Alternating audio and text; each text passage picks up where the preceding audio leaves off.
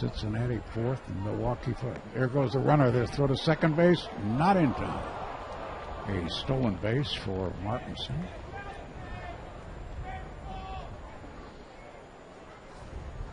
We've got a three and two count again. That pitch was just outside.